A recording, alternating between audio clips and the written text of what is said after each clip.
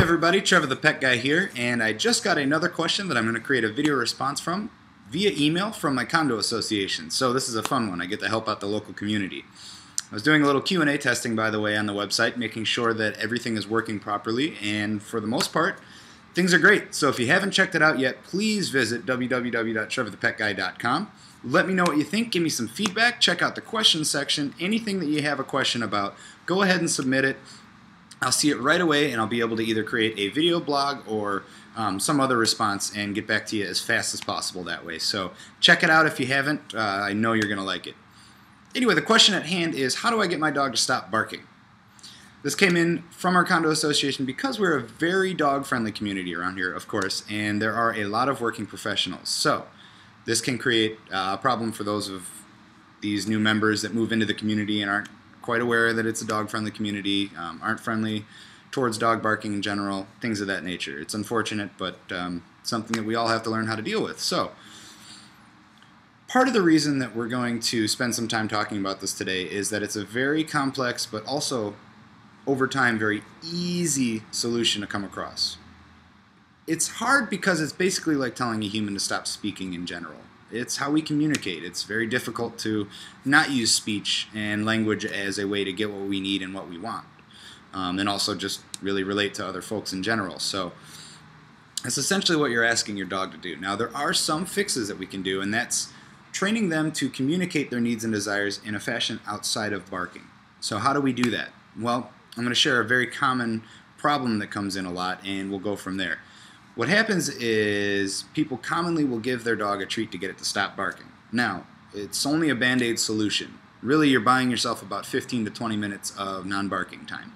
What the dog is doing is saying, okay, well, woof woof, treat appears. So every time I do that, I'm going to get a treat. And we all know how often dogs want treats. So really, you're just creating a lifetime problem if you don't solve it.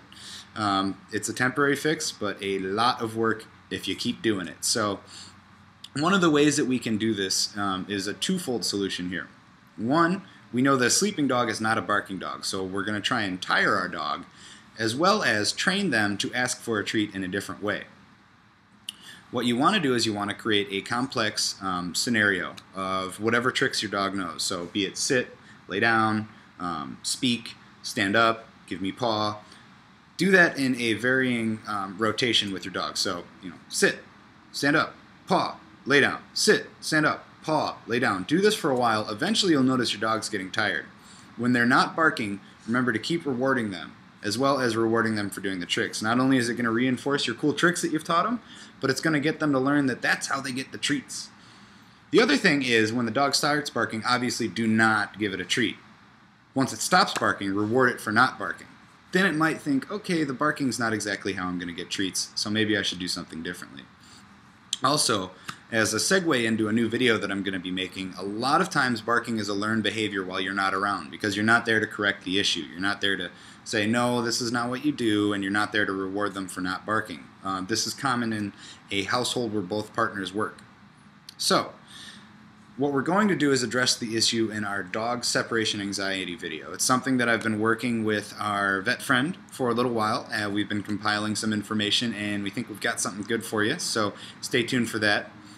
And as always, remember to wag more and bark less. Cheers, guys. Oh, and do not forget, please check out the website. It's really cool, I promise.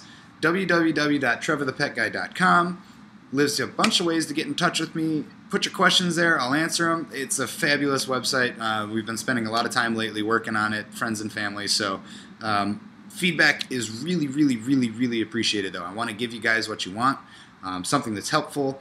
So, anything that you notice that isn't comfortable or doesn't work right or isn't exactly what you want, please let me know. Whatever it is, feedback, you know, even if I don't like the color green, whatever, send it my way. Anyway, thanks again. Until next time, cheers, guys. Bye bye.